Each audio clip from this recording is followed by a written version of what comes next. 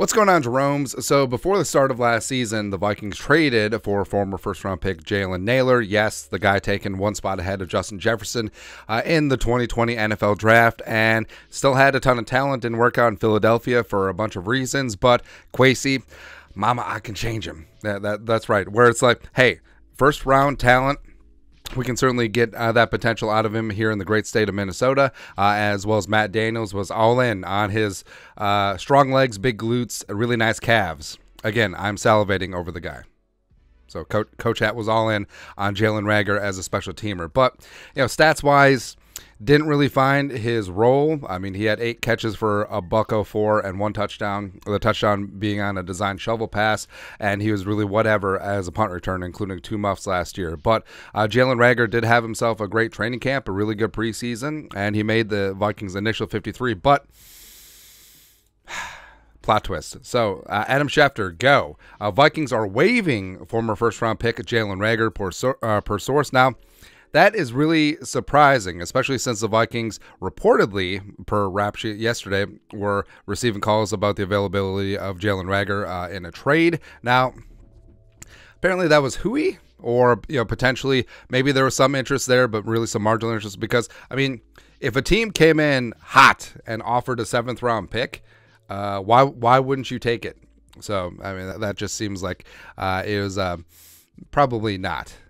Mm, mm, mm, mm, uh, but the fact that Jalen Reagor did get waived in this spot, uh, again, a little bit surprising uh, considering how good he looked in training camp preseason, how highly he was regarded uh, by Kevin O'Connell and the coaching staff, and also his $2.4 million base salary this year on uh, the final year of his rookie deal uh, was fully guaranteed. the Vikings didn't pick up his fifth year option, but the only way the Vikings can get out from under that is if he's claimed on waivers, which is a possibility. There's a number of wide receiver needy teams uh, out there, including the Denver Broncos, including the Los Angeles Rams, including the Tennessee Titans, uh, who had joint practice uh, with the Vikings uh, two weeks ago uh, and got a very close look at Jalen. So maybe there's a possibility there. But uh, if he goes unclaimed, that 2.4 remains dead on the Vikings books. Now, it can offset uh, if he is signed uh, to a deal, which is probably going to be league minimum, and the league minimum for a fourth-year player uh, is about one million.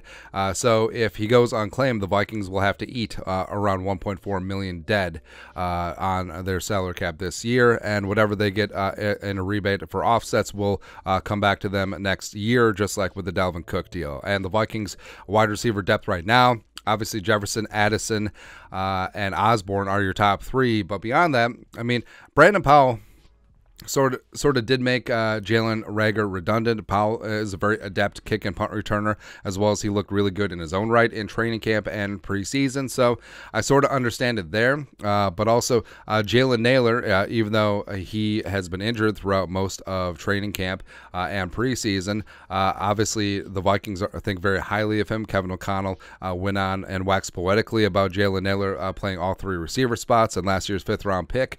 obviously they're all in. So the Vikings uh, carrying five receivers uh, on the uh, 53 right now, and Jalen Reagor is the, the man out. But we'll see what happens when it comes to waivers. I, I do think that he has got a pretty good shot at getting claimed, uh, but we'll see what happens there. But your thoughts are thoughts. Uh, Vikings wave former first round wide receiver Jalen Reagor. Yes, the guy taking one spot ahead of Justin Jefferson. Uh, let us know your thoughts and our thoughts in the comment section below. Subscribe for daily Vikings takes. Want to support the work? Put a little something in the Venmo. But to next time, Skull production value.